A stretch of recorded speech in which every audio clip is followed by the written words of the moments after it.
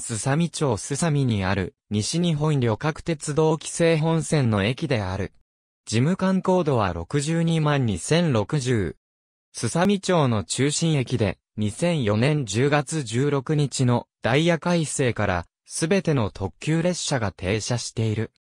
単式ホーム一面一線、島式ホーム一面二線、計二面三線のホームを持ち、単式ホームに接して、駅舎のある、地上駅であったが、2番乗り場が廃止されたため、現在は2面2線である。ホーム間の連絡は、古線橋を使う。駅舎は2001年3月に竣工され、すさみ町民コミュニティプラザとの合築である。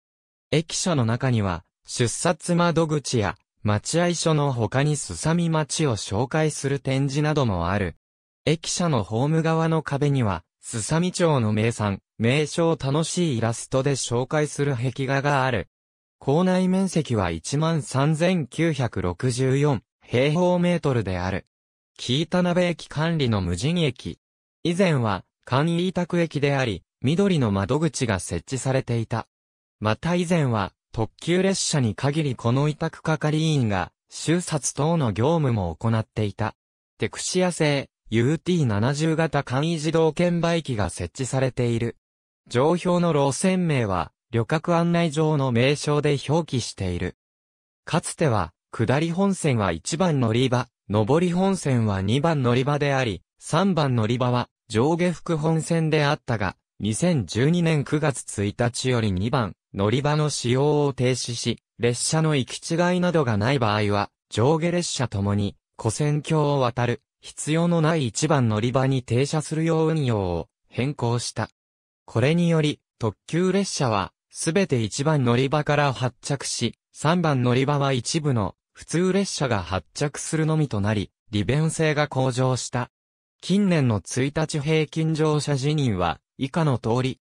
駅舎のホーム側に描かれている、壁画駅前風景周囲は、リアス式海岸が顕著に見られる地域で、海ギリギリまで山が迫っているが、その中で当駅は、大馬川とすさみ川の川口付近に位置し、両川によって作られた比較的狭めの平地に位置する、すさみ町の中心集落、すさみの市街地にある。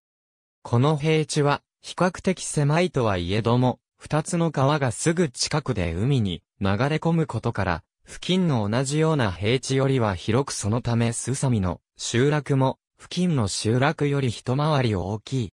すさみの街並みは当駅を中心として北側に広がっており、すさみ町の役場も北側数百メートルのところにある。駅の南西には、詩人、野口宇城も滞在したすさみ温泉があり、その周囲には国民宿舎などがある。